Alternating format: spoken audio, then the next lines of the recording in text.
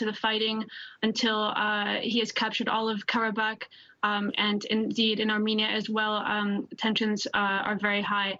Uh, I think beyond the leaders' rhetoric as well, we're seeing the populations of both countries, Azerbaijan and Armenia.